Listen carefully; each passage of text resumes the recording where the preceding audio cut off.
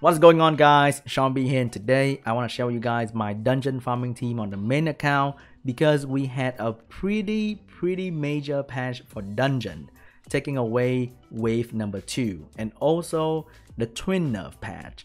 So in this video I want to talk to you guys about my dungeon farming, what's the plan and twins are they dead?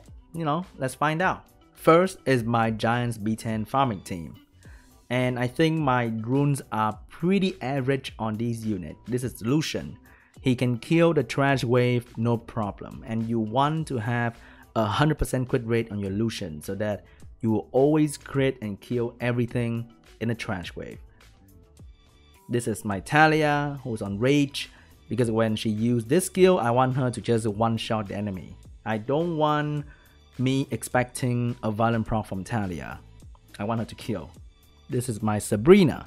She's on violent, attack with damage attack because she's the main armor breaker for the team. So I want her to have as much chance as possible to defense break the boss.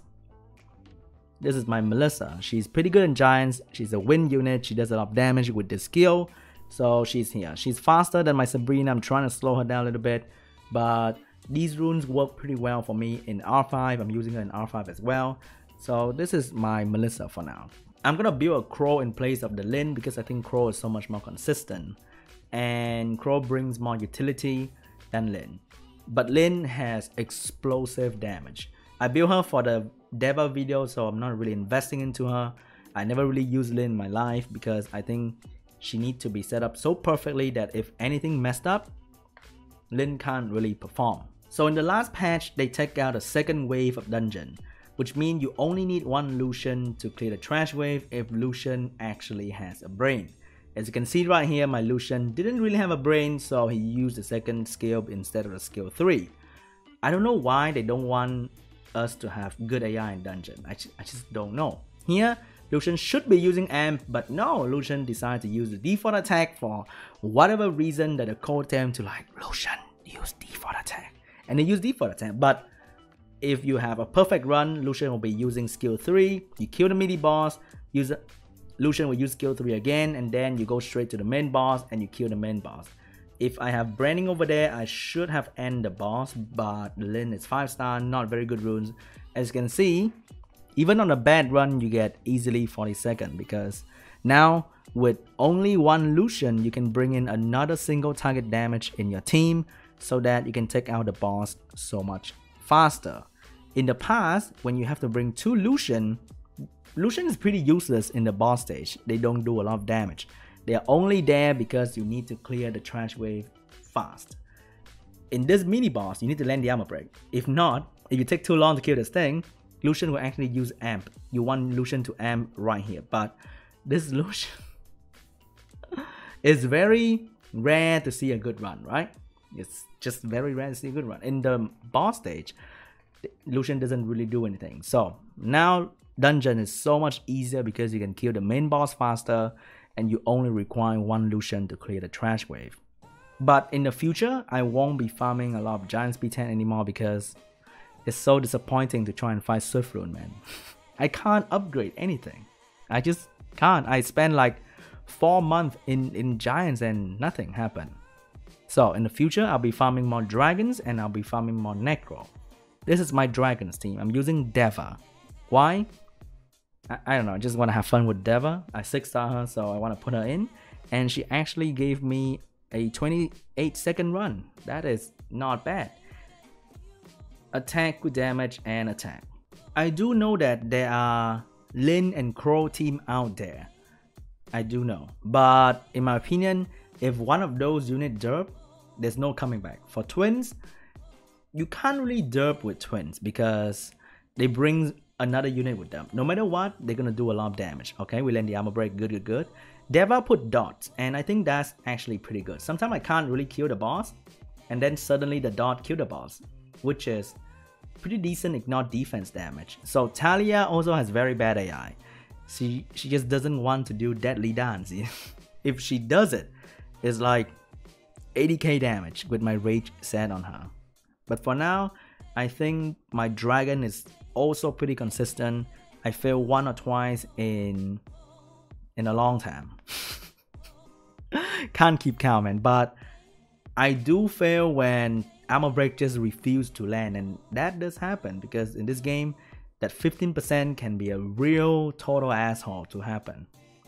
But normally, pretty simple amp, kill mini boss, and then can you just do it, man? I have I prepared two AoE right here. Shina move first and then Deva move after. Just in case Lushen derp, I can still clear the trash wave pretty pretty easily. You see that? Like, is there an AI in Talia that decide for her to not do Deadly Dance? Sometimes she does Deadly Dance without even buffing herself, so I, I just don't get it. All these units, why can I not have good AI? What's the point of this? It's just to increase our playtime in the app, isn't it, Com2uS? Because you want us to spend more time looking looking at this meaningless dungeon runs so that you can have more playtime on the app. So that you put shitty AI because there are some unit you put perfect AI for dungeon like Belladeon. Bella will only strip when there's buff on the enemy in dungeon, but that's the only thing. Or Megan as well.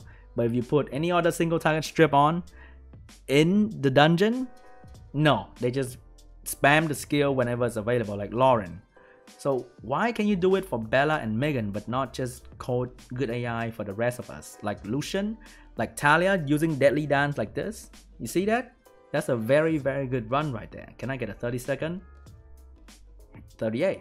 So this is my Dragons B10 team right now. Is I think it's pretty pretty okay. Using the same team, same concept, and twins in necro works even even better. I'll be farming a lot of necro because i really really need will runes. When you get outsped in rta the best answer to that is having will runes and violent. And i can't see myself getting better swift set. So the only way for me to maintain ranks in rta can deal with people with fast rune is having will runes because the meta is single target strip if you ban one or two single target strip and you have full will rune team, the enemy is not gonna have a very good time against you. When you watch high level RTA, there's always one big question, or even high level RTA stream, sometimes they ask themselves, hmm, what if he's on full will and then lucky for them in high rank RTA, people are so confident in their speed, they don't put will runes on everybody. And that's when Ganny is really, really strong. But if you have full will team and enemy pick one or two stripper, you ban one of that, suddenly you're at a very good spot because they can't do anything to your team. So I'll try my best to farm more will runes in Necro B10. For the boss stage, I'm actually going for the tower first because sometimes when friend derp, she just refused to do the AoE buff and then if suddenly the armor break land on my twins, the dog will just turn on my twins let's say friend cleanse herself. So that's pretty dangerous. So I find that clearing out the towers with twin doesn't really take a lot of time. So I'm gonna add in another couple seconds to make sure that my runs are smooth and safe. Don't wanna waste energy, okay? Gonna take like a minute 15, which is totally cool. A little bit longer than before, comparing to the Vert run, but you know, I'm cool with that. This is my current R5 setup. I love it that I can do it with a random person on the internet as long as that person has a decent team like this guy. I'm gonna check out the Colleen. The Colleen looks pretty good. I can have a very, very fast run. So let's go. Man, I'm glad I found a good guy and he's running, I think if you consider Skogul a damage dealer, that is a 4 damage dealer team. So let's check out the runes on my on my team. This is Friend on Violent for RTA purpose, there's my Lisa. It doesn't need to be on violent as long as you are fast, tanky, and high resist. There's Bella for healing. I really need Bella because smart heal is very very important. Xiaolin on Vampire on frontline, Rogue on Violent for RTA, for guild battle. You want Rogue to be on Violent, but in the future I may take out Rogue for a Crow, or I actually may even take out Bella for a Crow. We'll see how stable that can be. And this is my Hua on broken set. Doesn't need to be on violent. This is my second team. My Colleen, who is on leftover runes. You just need to be fast and tanky. Oh my goodness, she is dead. Where is the attack break? Oh crap. Sometimes when, when you miss attack break that happen. That happened. But yeah, Bastet is on left over Swift Rune, and I have my Shina and Melissa for dungeon run. I have my Jean who is for PvP, but because he can do so much damage here, he can actually do like 50k if you have the passive on, and most of the time it's pretty stable. We're done with R5. KB5 can do it in 30 seconds, but building a KB5 team requires a lot of effort. You have to build a specific unit in a specific way. You have to pe have people run it with you, and having a max skill Bailey is too much work, man. I got so many other stuff to build for content. I can't be investing into that thing. So paper cup. Wait, what was this? What's the guy? Shit, I can't remember his name. Uh, paper thin. Yeah. Oh, 44 second. Let's go. Let's go, baby. Who needs KB5? Hell yeah. All right. Good night, crack. Appreciate you stopping by, man. Why would KB team want to do this with you when they can just? hey, sometimes you know, sometimes you just don't have a friend to do your KB5 with, and then suddenly a wild SeanB appear and we can hit it off and do sub one minute run. Hell yeah. So I try my best to build two triple damage dealer R5 team. And so far, if I have a Katarina person on the left and that person run a Jemaya, I can get sub one minute run pretty easily. But I only need a decent guy on the left to have a 1 minute 20 second run and to me that is so much faster than what R5 used to be, which is long, two minute run in the public. Yikes. But now I can actually do it with a random guy on the internet, which I try offline.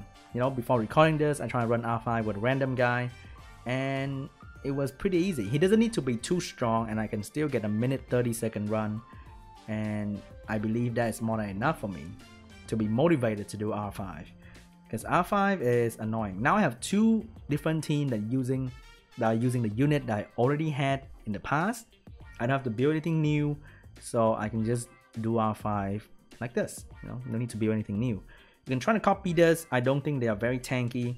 The stats are pretty normal per se. I don't know. I'm not too sure, but I'm loving this team. Even the the right team is doing a lot of damage. It's carrying itself pretty well. Oh, it's actually doing the most damage. Isn't that amazing? Because Jean can easily do like 30k default attack, 50k second skill without branding. With Crow in this team, we're gonna see some branding, and that's gonna be really, really cool. One minute R5, man. Like, this is great. I'm gonna do so much more R5. Alright guys, that's my farming team for this month. If you have any question, let me know down below and I'll try to answer you.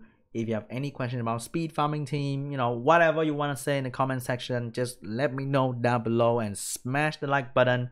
Subscribe if you are new. And I'll see you guys in the next one. Bye.